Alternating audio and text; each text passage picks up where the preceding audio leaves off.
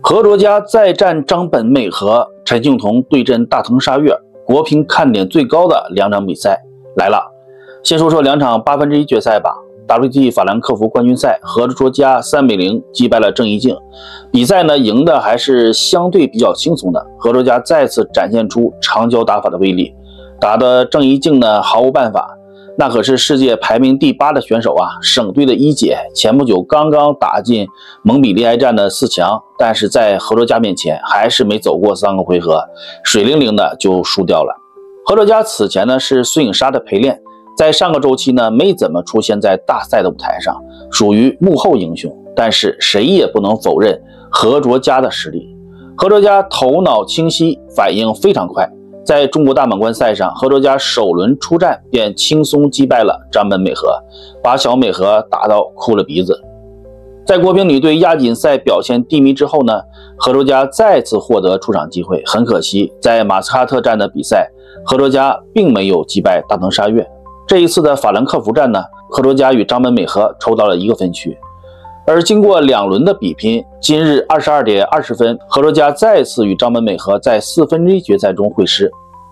张本美和最近的状态很好，在亚锦赛上一个人突破了多位国乒选手，在蒙彼利埃冠军赛呢也闯入了决赛。毫不夸张地说，张本美和现在就是国乒女队的头号对手。这一次何卓佳碰上张本美和，大家都希望啊，佳佳能成功复制大满贯赛上的成绩，遏制张本美和上升的势头。在另外一场比赛中，陈幸同在零比一落后的情况下，三比一击败了斯佐克斯。在欧洲女乒呢，斯佐克斯绝对是前三的水平。斯佐克斯曾经击败过陈梦，也击败过陈庆同，实力非常强悍。但是这场比赛，陈幸同在输掉一局后呢？并没有给斯托克斯机会，连下三局拿下了比赛。十一月九日凌晨一点三十分，陈幸同将对阵大藤沙月，这同样是位二十岁的日乒新星，今年已经拿到六站比赛的单打冠军了，排名也冲到了世界第十。对于陈幸同和何卓佳来说，阻击两位日乒新人意义重大。一方面呢，国乒女队需要这两场胜利提升一下士气。在上个奥运周期，国乒女队对外协会基本上是碾压态势，即便日乒有威胁，但也仅仅是有威胁而已。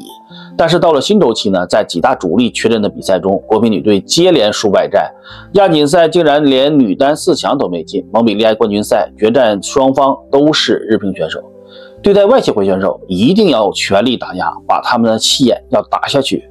就像这一次的大藤沙月和张本美和，一个二十岁，一个十六岁，都会是未来一到两个奥运周期国乒的难缠对手。陈幸同和何卓佳要全力争胜。另一方面，对于陈幸同与何卓佳个人来说呢，争取比赛胜利很重要。两个人正是当打之年，国乒新周期也才刚刚开始，他们真的很有机会竞争一下国乒主力位置的。怎么竞争呢？最好最快的办法就是打最硬的仗，拿下最硬的对手。还有比大藤沙月与张本美和更强的对手吗？这是一次十分难得的机会啊！